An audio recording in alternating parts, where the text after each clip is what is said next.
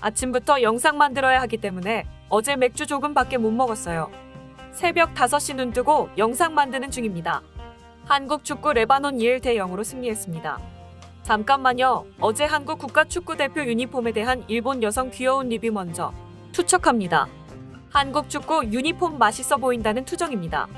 호랑이라는 걸 알고 이러는지 어제 축구 경기 보는데 아니 축구 경기장이 동네 애들 놀이터도 아니고 너무 충격적이었습니다.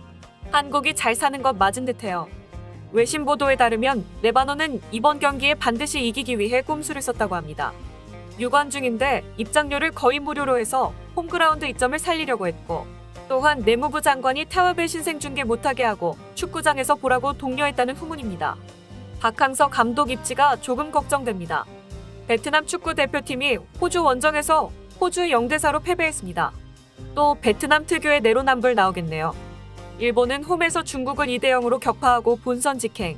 마지노선인 조2위 승점 15를 유지했고 중국은 본선 직행이 불가능해졌습니다. 한국 축구 레바논전 긴급 투척합니다. 최근 경제 위기를 겪어 경기장 보수조차 힘들었던 레바논은 수도 베이루트에 경기장을 쓸 수 없었고 강풍이 부는 가운데 시돈에서 경기를 치르게 되었습니다. 어제 한국 벤투 호의 작전은 이례적으로 4-4-2 포메이션이었습니다. 예상대로 황희조, 조규성이 투톱에 세우는 전략이었습니다. 이재성, 황인범, 정우영, 권창훈이 중원에 위치했고 이용, 김민재, 김영권, 김진수가 포백을 맡았고 김승규가 골키퍼였습니다. 중요한 점은 벤투 감독은 공중전을 염두에 두고 공격수 조규성, 미드필더 정우영을 중심으로 헤딩 경합을 맡겼다고 합니다. 그 주위에는 많이 뛰면서 떨어지는 공을 잡을 수 있는 황희조, 이재성, 권창훈, 황인범 전략을 구사했습니다. 예상대로 헤딩 경합이 많았고 또 헤딩으로 경고도 먹고 부상도 당하고 치열한 몸싸움도 있었습니다. 한국 측 날카로운 주요 공격을 분석해보면 전반 5분 전 기회를 놓친 것 너무 아깝네요. 전반 5분 만에 조규성이 왼쪽 측면에서 날카로운 패스를 올렸는데 아쉽게 황희조까지 연결되지 않았습니다. 3분 뒤에는 황희조의 머리 맞고 뜬 공을 이재성이 논스톱 빨리 슈팅으로 연결했지만 골문 위로 떠버렸습니다.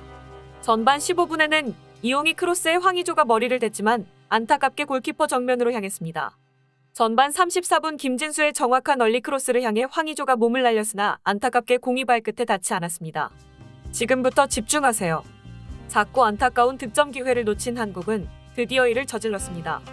한국이 선제골 터진 것 전반전 추가 시간에 터졌습니다. 황혜조가 왼쪽 측면에서 왼발로 낮은 크로스를 날카롭게 올렸고 이때 수비 뒤에서 문전으로 몰래 침투한 조규성이 몸을 날리며 오른발을 살짝 대 번개 같은 한 골을 넣었습니다. 그런데 말입니다. 어제 경기에서 김민재 상대 흔들기 작전도 흥미로웠습니다.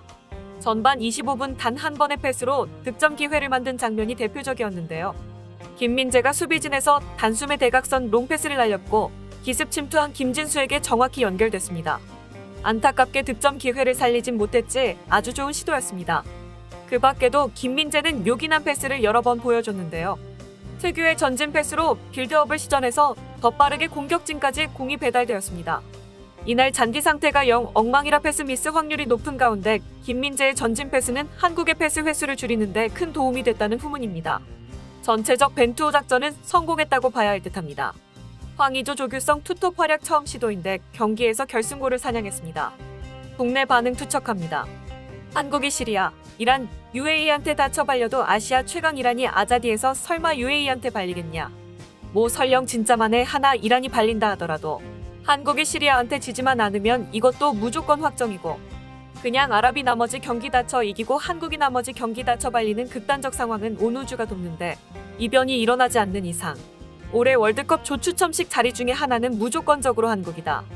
21세기 들어서 최종 예선 5승은 최초 아니냐.